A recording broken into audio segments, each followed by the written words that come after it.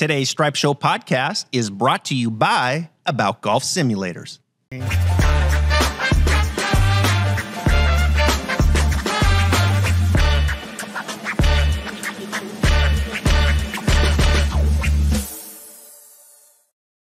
We're back, Stripe Show podcast on a Tuesday. I'm your host, Travis Fulton. Hope you had a great Labor Day weekend. Took yesterday off. Back at it today. No tournament to talk about. So I gave Keith Stewart the day off.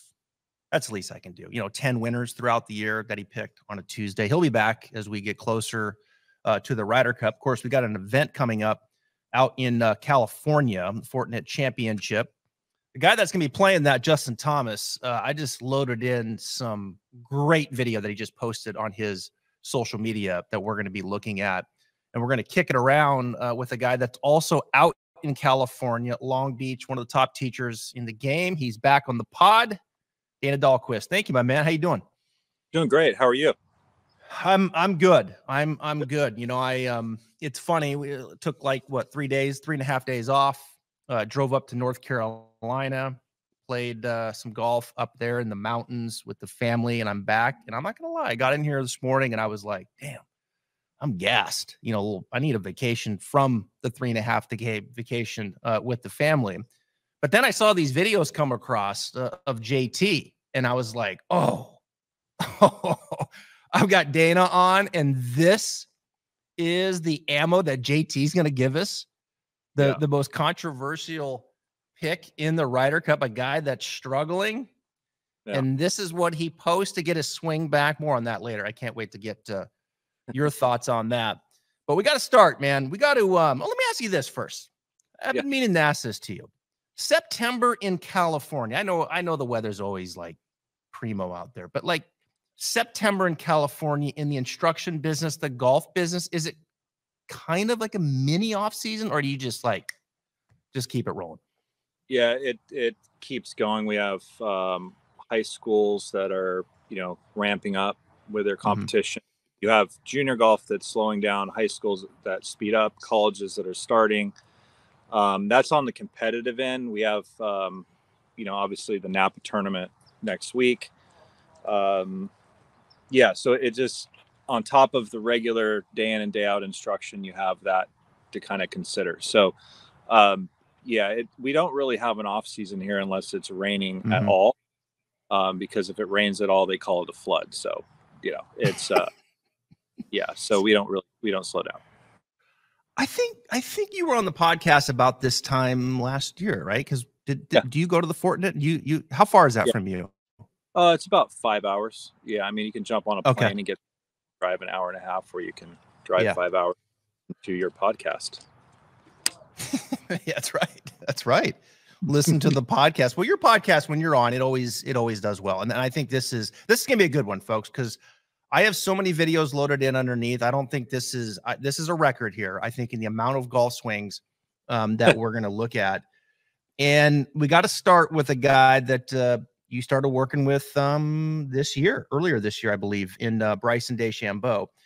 Yeah. And I'm gonna I'm gonna lay this out there, Dana, before we bring in his swing and some of the things um, that you guys have been working on. But I, I look at this year and there's been a lot of like really cool kind of comeback stories, guys that have kind of got their game back in order. Like Rickie Fowler obviously wins the Rocket Mortgage. We know his struggles and what he went through. Jason Day and his back has come back and he won um, at the AT&T. Viktor Hovland short game, and all of a sudden now that's not a weakness anymore. And the guy goes and wins the BMW and the Tour Championship. Koepka, you know, after watching um, the Netflix series Full Swing, was like, damn, you know, what's what's happened to Brooks? He comes back, wins the PGA and the LIV, and even like Bryson to some degree. I felt like Bryson, you know, was kind of I don't think I don't I don't want to say lost his game, but he just wasn't playing hmm. Bryson kind of golf, right? Like we saw in winning the US Open and and the force that he was when he put on the weight and all this distance and yeah. say what you want, like it was it was working. I mean, Bryson was playing some excellent golf. And yeah. then all of a sudden, kind of Bryson, I felt like, you know, struggled a little bit. He changed instructors, went to you, Dana. When you when you took over Bryson, mm-hmm. what was your analysis as you looked at it that have has laid the groundwork to now to what is Bryson playing really, really good golf, highlighted yeah. by a 58 at Greenbrier. Yeah. Lay us through that analysis when you first started with him. Yeah, so um, we have to kind of look at the timeline effectively here. So the very first thing that we wanted to kind of consider um, when Bryson was in full control of his golf swing, his ball speed, let's just say, was averaging 170. Okay, so that was mm-hmm. 2017, 17, right in there. And, um, you know, he built a swing that was predicated on accuracy. So he was a very good long right. iron player, great driver of the golf ball. And, um, you know, at that time, he, as he should, he looked at particular weaknesses in his game and being that he is um, thoughtful about that, he deep dove into adding speed. So, um, you know, got really involved into the long drive thing, and not to get long-winded yep. here, you know, literally, you know, finished almost first, but lost to Martin Borgmeier, who's a absolute freak. Mm-hmm. So, um, and Martin, in a good way, you're a freak. Um, so anyway, yeah. um, right. So and um, in doing such you know he he changed his physiology changed his diet changed his workout and um, you know it's interesting because in doing such he he got to different end ranges and one of the things that his golf swing was built on was end range and um, that would create stability in his pattern and um, predictability so when he overlaid a bunch of speed to the system that changed a lot of things in his end range um, now, what's interesting is when I got involved, there was not like the substantial control factor, but he still had the speed. So um, I tried to explain because I kind of live in both both worlds where um, you know I'm number one 98% of the time, 99% of the time um, in just golf swing, but I do dabble with um, a little bit of the long drive as well because um, mm-hmm. you know one of my business partners is one of the fastest guys on the planet, and uh, that's Josh. And so I kind of understand both sides of the coin, and that also gets into like the golf swing side of things. So, mm-hmm. majority of my career was around the geometry of the swing, but once you get to a certain point, you have to break those molds and really understand like ground force reaction stuff. Um, you have to understand um, dynamics and how those things overlay on top of geometry. And um, geometry doesn't necessarily, um, you know, when you get into that world, um, give you everything. And, and the case in point is like I could have somebody on 3D make a golf swing at 185 and do the exact same 3D and do it at 195. Um, and you don't really see the difference, but you do see it in newtons of force. So, um, joint calculations aren't exactly the same at this present time. Maybe in the future we'll get there, but we don't have that. So anyway, um, it was kind of like building the mesh between his geometry, his end range, and then force production, and then kind of blend that together so that he had control. Now, what's very interesting about this conversation, and and this is where, you know, in in my opinion, and Bryson could completely uh, disagree with me on this. Um, he he has it now, so like he doesn't need to do anything in his golf swing anymore. Mm-hmm. It's where it needs to be, um, which is great. That's that was the goal. So we, yep. we hit our goal where we're at. Um, now it kind of facilitates itself into the equipment side of things. So um, he's obviously a tinkerer, um, and he's going to definitely get to the bottom of it. But one of the things that was very impactful was you saw him make a driver change right? And mm-hmm. uh, he went to equipment, which is the long drive head, that will sustain um, 190 and above ball speed. So um, that's where the long drive heads and whatnot they're they're built for that. And so what's interesting is he's going in that route with that. Um, I'm nice. It's nice to be a fly on the wall uh, mm-hmm. conversation, but um, yeah, that's kind of where things are, and and it's interesting because um, it really when he's in that place, it really to kind of to happen, and mm-hmm. um, when he doesn't have control, and, and all players are the same with this, like they don't feel like they have the control. Um, they're not in the right side of their brain. They're not, you know, they're not being an athlete. So it's really allowed Bryson to um, have control and also be an athlete at the same time, and hence mm-hmm. why he shoot the scores that he does. So fantastic. Speaking of driver, here he is. This was a video, I think. Did I get this off your site? No, I think I got this off Bryson's site, actually. Yeah. Yeah. He was hitting hitting a driver off the ground. Look at this. Yeah. Yeah. Or it's teed up very, very low. So technically, when you look at the geometry of this, I mean, there's not so there's not a whole lot of change, right? From a geometry standpoint, if I'm if I'm understanding you the right that that that you've made with his overall swing. Yeah, so it's more like going back to what can we do from 2018 that we do today. And so yeah. a little shorter this year than it was maybe previous year and then also his mm-hmm. release pattern or matching what it did in 2018. So those are those are really the big pieces. Um, so like how he's releasing the club through the ball, you know, in his lead arm is is you know more comparable to 2018. So what what does that take us through that as far as kind of what we're seeing there with the release? Yeah, so he has um, more kind of if you look at his lead his lead wrist is is on the weaker end, mm-hmm. and through the ball he has more supination of his lead arm and external right. rotation arm as he hits it, um, which inevitably is also keeping his his arc and, and 3D flat spot very very wide. So mm-hmm. one of the reasons why he's able to do this, and some players can't, um, he can keep layering speed into his system because the arc is so wide. It doesn't disrupt face to path. So, um, which is great. You know, that's what mm-hmm. that's kind of kind of very very similar to maybe like a uh, Steve Stricker. You know, had a very wide arc. Yeah. Um, it, it's kind of like how much how much energy can you put in the system and have sustainability, which kind of goes against the notion of trying to create lag and like golf machine max trigger delay and a bunch of other stuff, um, which is you know in and of itself kind of a different pattern. But uh, when you start going down that road, the bottom becomes much less uh, wide. So he's so right there. He's taking yeah. on more supination where before was yeah. he trying to to hold that off? Well, I wouldn't oh. say tr- that. That's what's interesting. Um, he wasn't trying. What was occurring was that wouldn't happen, and I think a lot of it was because of, um, you know, it's kind of two pieces. It was kind of a. It was the equipment doing it.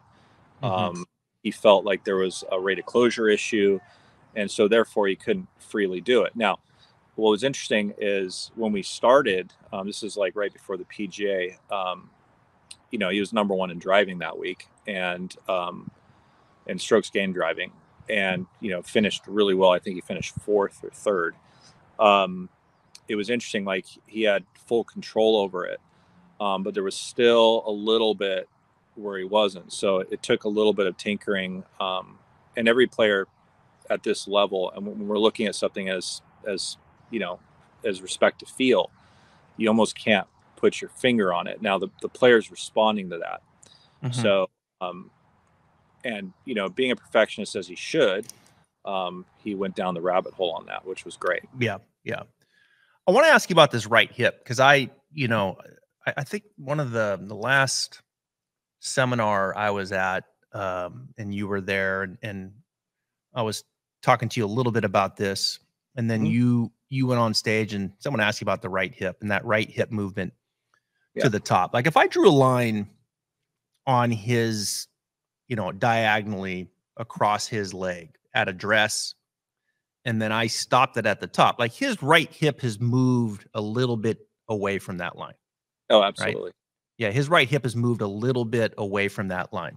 Yeah. Now, you you see a lot of players where that pelvis will you know, kind of move a little, a little to the right, and then that right hip will climb, and that right hip will stay more on that line. Yeah, right? Nick would be one, right? Say it again. Like Nick Watney. Nick Watney. Yeah, there you go. Um, and I'll show you another one here in a second. Uh, that's a great driver of the ball. Mm-hmm. Um, talk about that right hip movement, like the dynamic, because we do see a little bit. We do see both with great players. Yeah. Yeah. So um, I, I kind of look at it in two two fashions. So like Mm-hmm. You could do what Bryson's doing and not have enough load into your trail hip. And you know, I do see that on the range. So that would be like a reverse hip slide.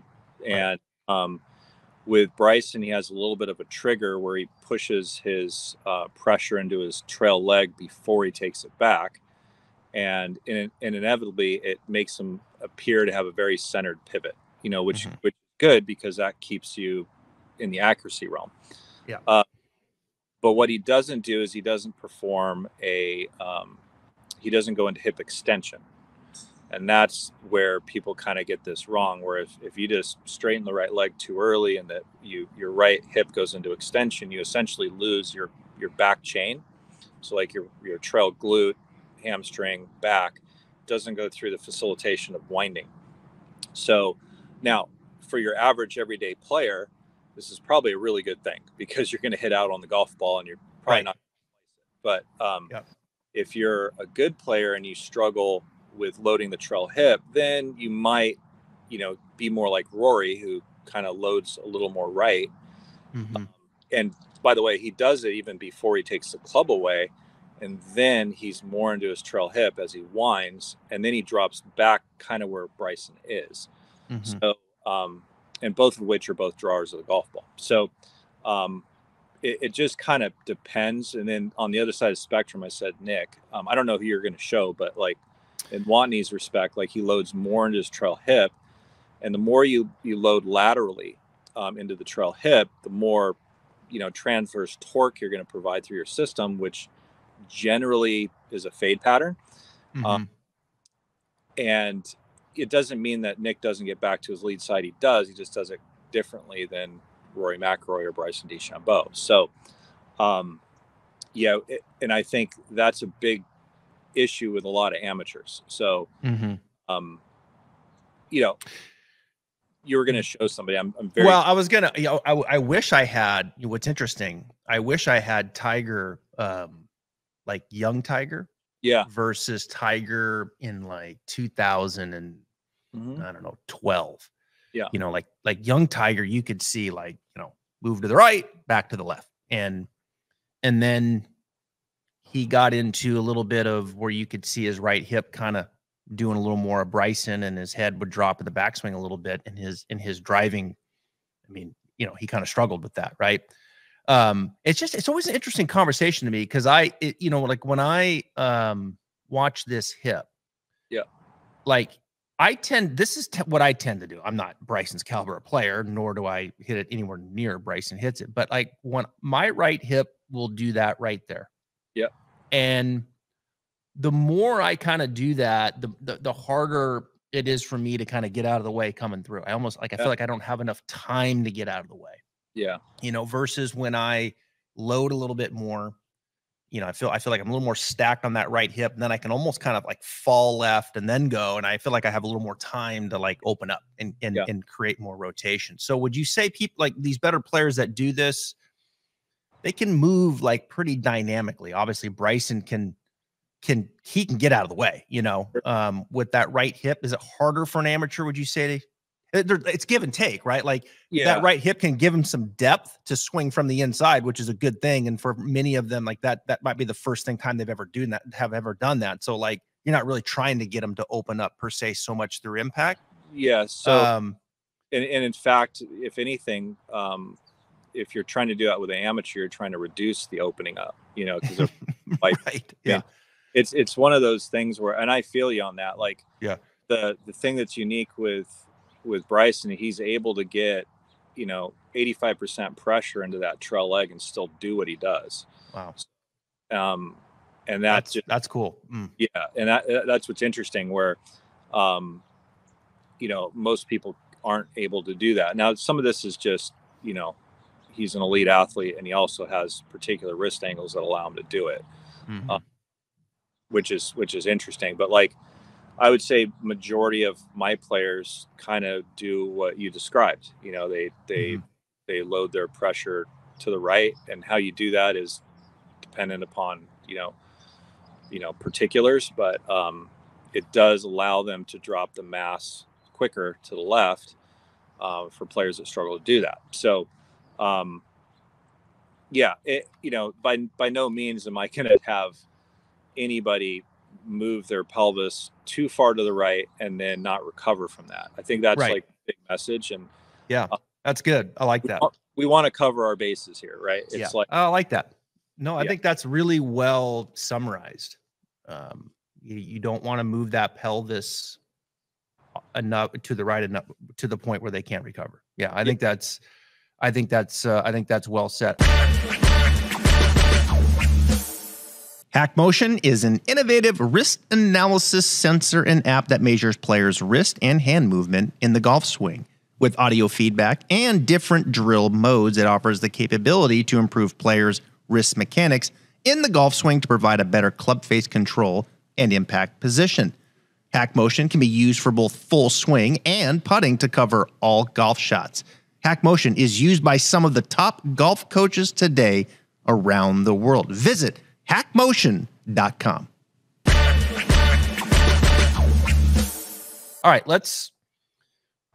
The guy I'm going to show you here in a minute um, is this guy. We're going to get to him here in a second, but you know, Yeah. here's a guy that kind of, you know, kind of drifted to the right. Another guy that comes to my mind is uh, Henrik Stenson. Remember that move?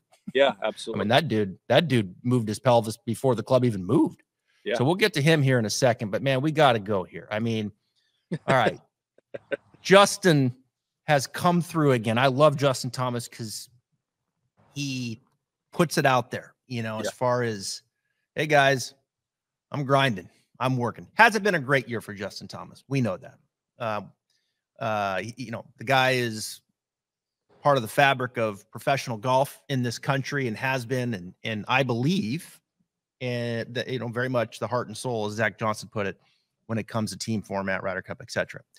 Uh, finished 15 in points. His his swing, his iron game, nowhere near what we're used to seeing from JT. His putting was kind of a wreck, but he posts this today, and so here we go, Dana. We've got our pool noodles out, all this stuff. I'm gonna play it through and you're out there all the time on tour and you see Justin Thomas hitting balls up close and.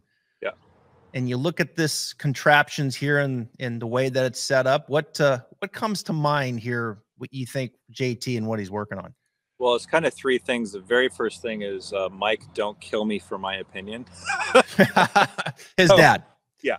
Yeah, yeah. Um, I like his dad a lot. Um, Yeah. So, yeah, it, it is a little bit different. Um, I think the first thing, and and it's kind of interesting because you know Justin's an elite competitor, um, and I do believe what what Zach Johnson says. You know, is hundred percent like if you're going to bet on anybody, it's it's going to be Justin Thomas is one of those guys that you bet on, and Mhm.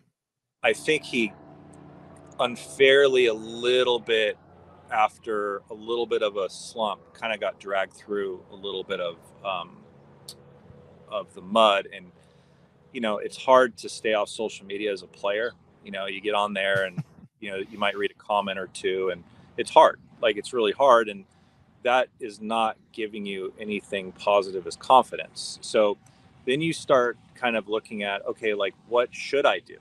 You know and should i go into the technical world and start changing things? Should i um, just read particular books hang with certain people? And in his credit like he hangs with the right people and he hangs with tiger woods for you know greatest golfer of all time You might as well. And um, being around who you associate with is probably the most uh, outside of just golf. So i think it's interesting to see him work on stuff. Now you, show me this and i go okay like what really sticks out? Well like off the ball the takeaways is different it is different for him like um his hand path going a little bit wider right? A little more. A little wider a little more Yeah. out um, Yep. and to be honest like i don't mind that. I, I think it's pretty good. The some of the issue i do have is that his hand pass more out at lead arm parallel at position three. Um that would know. be lead yeah position three lead arm parallel for our audience right right there. there. Um so that is a little bit more out. Um out meaning uh towards the target side yeah it's towards Yeah. it's the ball, the middle of the hands is closer to the ball than Yep. you know previously. Um, and then you know the other thing that sticks out is kind of parallel to the ground shaft P6, um, kind of at the release point, if you want to call it that. Um, I know the top's a little different, but like this one right there kind of sticks out. Club that's a that touch. I, I I I hit for the audio. I hit it just a touch late, but parallel. Yeah. yeah, that club is definitely more outside the hands Yep. um, than some of his others, and you know that is going to impact how his side bend goes through. You know, Mhm. so he's a little more covery um, than some of the older swings. So that's just what I see. Yeah, and and here's another video. Yeah. And this video, when I we edit it, uh, got cut down just a little bit. And what Justin did before, and this is the same. Uh, this is at Troubadour. Yeah. Uh, out, outside of Nashville, and um, what he did right before he took this back, Dana, is he took it back, and you could see his hands, you know, a little wider, like you talked about. Yeah. And then he rotated the shaft more horizontal. You could see him trying to feel something a bit more horizontal. Hmm. Uh, and then, of course, he would kind of reset it and hit it. So So when you say And- horizontal, did you mean like a flatter? flatter, yeah, not Okay. as you could tell. You could tell he was rehearsing flatter uh, Yeah. with the shaft. So you pair the two together. To me, it appears like okay, first move, hand path a little bit wider out in front, Yeah. and then let's rotate the left form and the shaft. Because that, I mean, uh, shaft's hanging a little more left now. I mean, at the top too, I think, isn't it? Yeah, it is. hang, it, it's hanging a little more left and then and then from there let's to your point let's cover it right let's it's definitely a little more on top coming down and and Yeah. let's and let's cover it so i to me there's three things one hand path initially with some forearm rotation getting that shaft a bit more a bit flatter and then back on top Yeah, yeah, I'm with you on that, hundred percent. All right now check this out this is the last Ryder Cup that hand path's not out Yeah. is it Nope. i mean look at the difference in the left arm to the chest Yeah. Yeah, he's Okay. more cage rotation, hand path more in. Club the club head a little couple degrees outside the hands. Right. Yep. Sure. And then as a result, I think naturally that shaft probably going to be a bit more vertical there. Yeah. Um, this isn't quite the same camera angle, so we're just kind of casually discussing this. Um, And then that's way different. yeah. So way more X factor stretch, more separation, hips more open, right shoulder's gonna right side bend more. I mean, yeah. I mean, look at that. Yeah. wow. I mean, it's pretty interesting, really, when you think about. I mean, this is the Ryder Cup um, a couple years ago. What at Whistling? Um, I'm drawing a blank. So were Whistling you straight. were you up all night like finding these? Oh yeah, this is yeah, I'm kind of geeking out. You know, it's like That's- Tired. Well, I, I've had this one. I've had this Okay. one. It- you know, and this is a good look. It's you know the camera's a little bit different, but I mean you can, you know, we've looked at enough video that we you can kind of get an idea here what's going on. And, and to your point, I mean that is very different. You know, coming down right there. You go back uh, now. You go back to here, and you bring this in, and you look at that move right there, and that's different. Yeah. Look at the left arm. Look at the left arm to the chest.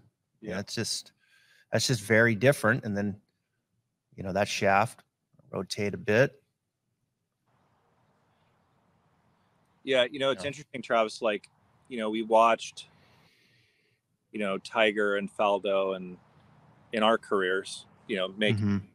changes. And, um, you know, my hope, you know, one thing that's never going to die is the the players, you know, tenacity and their ability to, to play the game and their competitiveness. Like that's that's something you can't buy. Um, and I mean, even Joe says that about Viktor, right? Like like you can't teach that.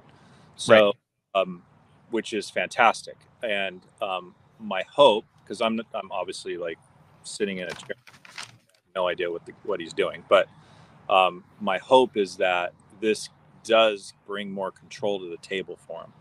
Mm-hmm. Um, I think what's also interesting, maybe for the viewers to understand, is like the the lengths that these players will go to um, to get better. You know, and yeah. it's not like oh, I'm just going to simplify it down to one thing because um, that doesn't change anything. So I mean, the JT, like he's putting some work in for sure. Oh, there's no doubt. Yeah. No doubt about it. No doubt. Yeah. I mean, JT's grinding right now. I mean, he is working his ass off to get ready to go. There's no doubt. So all my students listen to this to pay attention that he's putting some work. yeah, right. yeah, yeah. This, yeah, you don't get the JT's level just showing up and being, no. you know, like, hey, I'm good. I'm good at golf, guys. You know, and watch. The, I mean, these guys, they do. You, you make such a good point, and they just you know, I remember when I when I was teaching a ton and running TPC Sawgrass and all these players, and I I can remember I had a run there with Fred Funk for like six years, and and I, and I remember like we were uh, texting back and forth, and he was on the road, and they stayed out on the road. There was a week off, but they just stayed out there.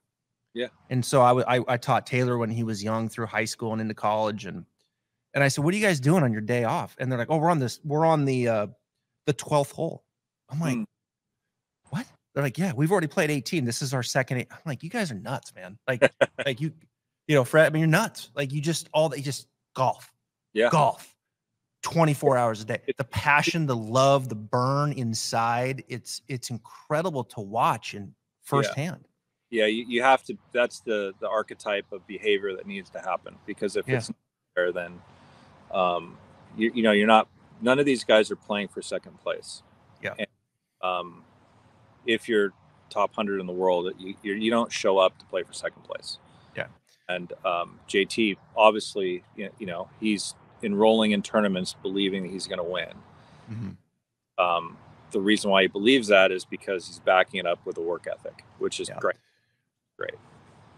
So I, I, think it's fair to say JT um, you know, he's trying to create a little more room here um, with the hand pat, the lead arm, trying to trying to cover it, get on top of it just a little bit more versus maybe when you look at this pattern where you know he, he was feeling like his hands and shaft maybe a bit too vertical right there, where then things yeah. would kind of get trapped behind him a little bit, and you know, and he just couldn't do what he wanted to do, path face relationship, and get obviously the ball flight that he's looking for. So, um, and I mean, so, like you said, hopefully it gives him the control he's looking for. Yeah. Yeah. That's my hope. That's yeah. my hope. Yep. Here's that driver swing one last time. And then I'm going to bring in, then I'm going to bring in a guy that you mentioned. Okay. Uh, Mr. Hovland here.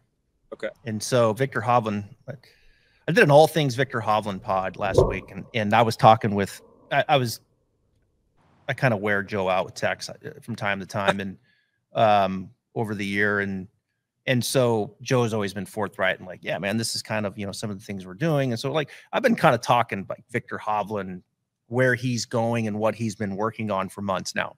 Yeah. And so to see it come to fruition, uh, and and the light come on and be like, oh, I'm the best player in the world now. you know, like I don't have a weakness anymore. Yeah. And off I go. Yeah. But when you look at Viktor, there's there's two things I want to ask you about. Okay, one is is when player when when when an audience sees this move right here, Dana, the hand path go out. Yep. Let's say more than down versus what their eyes used to seeing, like a Rory McIlroy. First, eh, eh, almost like when I first got into teaching 23 years ago, I can remember like kind of being taught like, okay, you bump you, you bump left. Yeah. You know, the old bump, spine yeah. kind of your right shoulder kind of drops and your hands come down, right? Like that's, yeah. you know, kind of yeah, instruction. That's kind of what it was kind of, you know, very much part of the lexicon of, of golf instruction, you know, sure. 20 years ago. But when someone sees this and they see their hand path go out, not down, yeah, they're like, wow, he's coming over the top. Yeah. Right. Even though the shaft's pitching back and you see that club exiting to the left. So I want to talk to you a little bit about that hand path, like you know that hand path going out that we see with certain players um, versus versus down. And then the second thing is is with that when you look at Viktor, Um, he's kind of that in vogue rotator, isn't he? Like you were Yeah. saying when we were texting him, and he's like, "Let's let's rotate, let's fly open, let's let's Sure. do all those things." There goes the hand path. Here goes rotation. Look at this left hip showing up to the camera. Yep. All right, give me give me your give me your two cents on that pattern. Yeah. So in, in Viktor's case, and and not all guys that rotate have all these things going for him. So Viktor obviously has you know an attachment with a lot of wrist flexion and the lead wrist, um, and he also has an aim bias slightly right. So um, Good point. Yep. to kind of zero him out. He's he's always had that. And Mhm. what's what's really cool, and I you know Joe's Joe's a friend of mine. Um, Mhm. Joe So- Mayo for our audience. Yep. so and and Viktor is too. So like we we chat a little bit. I I never talk golf swing with uh, other coaches because I don't want to like Yeah. I don't want them to feel like I have, ever have any ulterior motives or anything. But so but just from like an appearance, like Joe's really good at taking complex information and then you know making it like this is what you need to do. And um, right. That's Which- good. Yeah. I, I, Yeah. that's That's a that's a skill. with um in Viktor's case, like it was just like okay, like this piece, this piece, this piece are essentially making the ball do what it's doing, and then this is your miss bias. So therefore, you're going to add this piece to reduce the miss bias. Like that's mm-hmm. kind of how I would do it without getting into particulars. But in Viktor's, like he has an in hand path going back, a a right aim bias, and then hands do come out, but he also has a lead arm that kind of stays up, trail arm that goes under, and he's very good at rotating and side bending to accommodate his wrist angles that are going to go from flexion to extension Mhm. through the impact interval and allow him to keep rotating left to um, you know keep that face continuity if you want to call that even though it doesn't really exist but um, in 2d it does um, of rate of closure so um, and the other interesting thing is that john sinclair has been pretty instrumental because joe in joe's case like joe wants to be right and so he gets quantif- quantifiable data that um, you know for his players, which I think is Yep. really probably a good thing for try to emulate. You know, Mhm. get the best data you can Mhm. so that you're not really guessing. Um, because with a 2D camera, you know, sometimes some some things are pretty evident, some things are not. So um, yeah, he's he, they they've done a good job uh, working together for.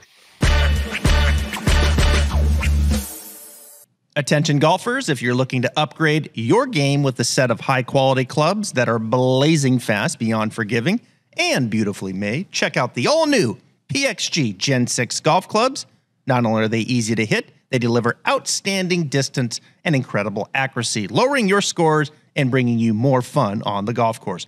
What more could you want? Schedule your Gen 6 fitting today at pxg.com or by calling 844 play PXG. and and on those lines like i did a thing with my with my HackMotion on my left wrist Yeah.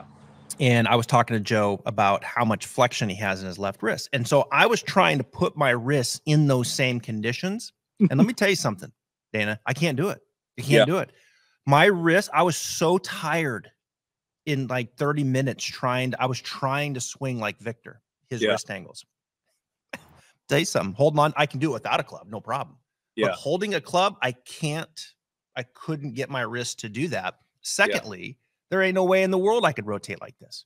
Yeah, that's the other issue. Yeah, I can't rotate like this. I have my body can't do it. I mean, it- and most can't. So like it's in vogue. Okay, you know, this kind of get it up there, shallow it, and fly open. Man, Yeah. that's a that's a hard thing to do. Now, I think in the world of in, in the world of instruction, when you maybe try to put a little bit more flexion in someone's lead wrist and you try to pitch the shaft back a little bit more to suggest a little more rotation, like that doesn't mean that we're trying to get we're, doesn't mean that we're trying to get them to swing like Viktor Hovland. It just Right. means we're just maybe moving the needle that way just a little bit, right? yeah, trying and to so and versus torque and yeah and so and so like it's interesting like this path man I go through this and I and I try to like I'll try to I'll put myself in these guys' positions and try to swing like that. And I'm telling you right now, this is one guy I have no chance to, Yeah. to swing like this. Well, me- There's absolutely no chance. Now, you don't have to fly open uh, and rotate like this to be a wonderful, you know, driver of the ball, right? This guy was pretty good too. Greg Norman, look at this swing. Yeah. Um, God, he that bit. watch watch these feet at, at the bottom. I mean, is this not Scottish? Watch this. Yeah. Look at that. Isn't that cool? Yeah, well, I, I think that's what is really interesting about golf is we have, you know, we live in a world of preferences as teachers, and then um, we have to kind of think outside the box a little bit because Mm-hmm. what if Scottie, you know, didn't drive it like God, um, and right. what are you going to do? And So- you're uh, not going to show him Viktor Hovland, you would show him Greg Norman. mhm. um, what's interesting, Travis, is like, you know, demographically, um, if you teach a bunch of juniors, the the chances with juniors is you might get fifty percent that could actually kind of be like a a Viktor or Collin Morikawa, guys that open very very effectively, and then the other half are going to be, you know, kind of, you know, thrusters and releasers of the, the golf club, if you like make it simple. Yeah. And um, both of which are going to effectively drive the ball. It means the pattern of ball flight is probably going to be a little bit different. Um, but in Greg's case, like, you know, he was inhuman when it came to his ability to drive the ball down a fairway, including Nicklaus. Like, you can, you can kind of, and I think for as demographics get older, um, you know, more my age, because I'm starting to get gray hair, um, probably gonna do more of, what Greg's doing. It'd be Mhm. way more beneficial Yep. to kind of do that, um, especially for your body. So, yeah, and not get the face is shut at the top. Correct. And absolutely, absolutely. So, I mean, it's it's an interesting conversation when we Yeah. we kind of look at patterns, and um, there's certain things that need to happen, and and you know, um, this also, you know, this goes back to like the Morad stuff because um, without getting into the weeds here, I'll try to simplify it. Like there was there was a organic way to define different trajectories. So like if a player is hitting it really really high, it versus really really high and starting at left and cutting it, Mhm. what patterns have to be there, and then conversely, like if you're going to be Lee Trevino or Billy Casper, and you're going to hit it low and draw it, or low and cut it, Yeah. what has to be there? And um, you know now, you know with a lot of these players getting their swings on 3D and you know getting pressure monitored with corresponding radar, TrackMan, GC information, you can start seeing that how much of that was were they onto, and then how much possibly was wrong. Like Mhm. that's what's kind of cool to decipher. Um, but I think the the big piece in this discussion is anatomically how you already move. So like what's interesting is like Viktor is his anatomy he, he he's got long arms Hmm. um you know mobility probably like like DJ you know there's a lot of similarity. Oh yeah. Mm-hmm. and um, which would be different than somebody who, you know, like Tyrrell Hatton, you know, is different built, right? So um, we have to kind of respect that. Yeah. You know, I think at the end of the day, I mean, Vic, this is Viktor with an iron, I know, but like with a driver, um, you know, Viktor, all kinds of flexion. We know the shaft's really pitching back. Yeah. Um, in transition, the dude's flying open. Yeah. You know, just an absolute beast mode driving the golf ball. You know, and here's another guy in his day, beast mode driving the golf ball, left arm. You know, probably not as quite as much depth, eh, close as Viktor, but you know, you look at him coming down that shaft. I mean, this is 2D video and not very good, but you know, Norman, I don't think pitching the shaft back with a No. a ton of flexion like we saw with with Viktor and you know and and as a result you know not opening up as quite as much and a little more of a release down the line shafts exiting a bit higher and you know so and here you got both guys just incredible. Two of the best, probably. Certainly Greg. We'll see how it plays out with Viktor but all signs leading to, um, you know, just dominant with the driver off the tee. And Scheffler looks more like uh, Greg Norman, and that and that's really like you said, they're all kind of built a little bit differently. And where the you know for a teacher, um, where the art comes in, right, and getting in there, and and figuring out, okay, what is this person capable of doing? Yeah. And then starting to kind of move that, you know, start to move the needle the right way so components yeah. match up so they can control the ball. Yeah.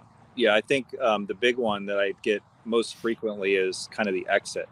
I get some players that go, I mm. want this picture to look like this. And I'm like, mm. listen, dude, like you do this, this, and this that don't equal that. And you're pretty good. So, um, do you want to live in misery for a year or do you want to play better next week. So yeah, um, it's kind of one of those catch twenty twos where yeah, you know, yeah, you know, Max Homa's got a perfect, you know, pretty looking swing, but you know, if somebody's on the other side of the coin, um, you can't go down that road. So right, um, yeah, it's definitely interesting. Definitely. Let me tell you something. If I if I committed to this, if I committed just to the backswing, the wrist angles, I wouldn't break a hundred for like like three months. I'm not shitting you. I mean, I couldn't. I mean, it is. I've seen foreign. Mike break 95. I I could break 95 just hitting little bunts. Let's put it that way. You know, like not not reaching back and letting that baby go into full frisbee mode on the other side. It'd yeah. be manufactured and hung on and ball back and you know like just trying to keep it reasonably out there. That's awesome. Yeah, it, it's it's a good exercise, man. It's a good exercise not only to watch it, but then to actually try to get in and demonstrate and try to put yourself in those positions to see what it would take to, you know, sure. hit a golf ball like that. Oh, absolutely. So, all right, man. I know you got I know you got nine lessons today. You're the man. We talked forever. I appreciate your time. Um, and I look forward to uh, running to you soon. Absolutely. That was a lot of fun. Thank you. Right, thanks, Dana. All right. Cheers.